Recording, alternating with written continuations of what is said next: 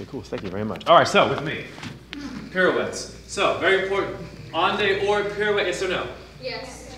Now, boats have an oar. It's a paddle. Do I paddle outside or inside? Inside. Out. So en dehors means out. Yes or no? Yes. If I add a bit to oar, what is it? Or.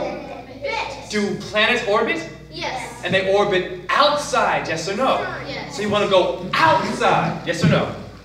Good. Now en dedans with me. Now dawn means going into the light. We see the sun in the morning. Yes or no? Yes. The sun is the dawn. Yes or no? Yes. So you have to go into the morning. Ah, yes or no? Yes. You see how it works? You know, Aurora in Sleeping Beauty also means the dawn.